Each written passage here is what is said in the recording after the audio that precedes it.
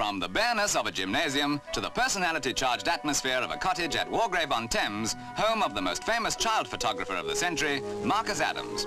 Today, in his 82nd year, the grand old man is earning acclaim in a new sphere as a creator of a refreshingly simple yet stimulating art form, picture designs in pressed flowers and plants.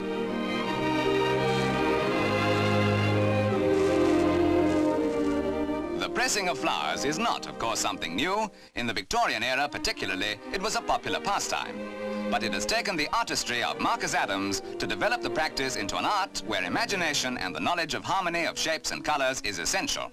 It is, on the other hand, a hobby that many people might well take up and gain considerable satisfaction from. And of course, there's no great expense involved.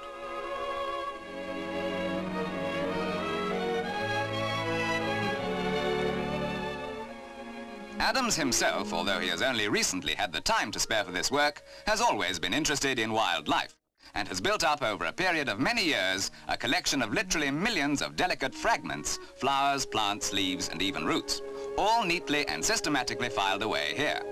Invaluable when one realizes the importance of the color values in a pattern. For example, the color of a leaf can vary so much that a single replacement from the file can change the whole effect.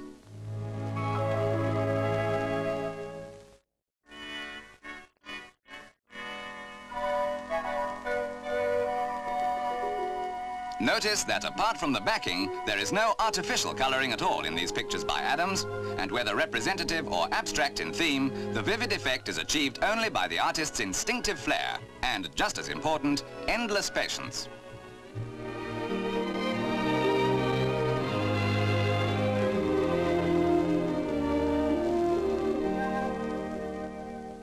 Marcus Adams is, of course, famous for his child portraits of the royal family. But few people know that he started his career as a painter, only becoming a specialist in child photography when he recognized the medium's potential for recapturing the expressions of children. But in arrangements like these, his early instruction as a painter becomes evident.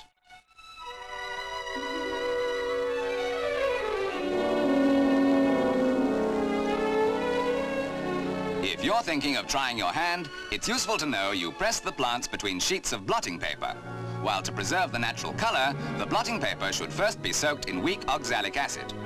What your efforts will look like, we don't know. But it's certainly true to say that Marcus Adams has given us something quite out of the ordinary and very beautiful.